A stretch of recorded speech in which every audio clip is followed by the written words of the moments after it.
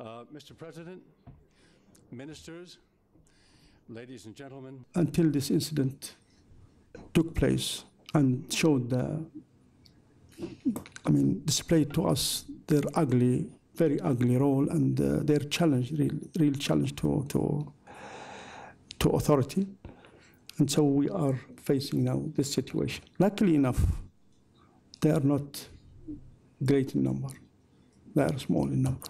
Yes, they have arms, but uh, I think the authorities will be able to handle the situation with, and will, we hope to reach a solution. Han, I'll call on you and, and wait for the microphone. I think for those who, for those who use power, I'm talking about the Libyan attitude. I think those who use power or challenge the government, who use power, the government has to protect itself, has to deal with them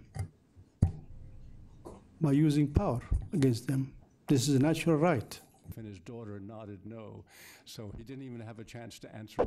I think um, we we are totally different. majority of Libyans are totally different from them. They we we long for building a civil s- state. They don't believe in that. We long to build a democratic state.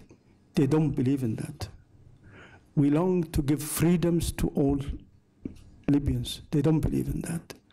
We long to, to empower women. They don't accept that. So there is total difference between them and the majority of Libyans. in your neighborhood about the problem of extremism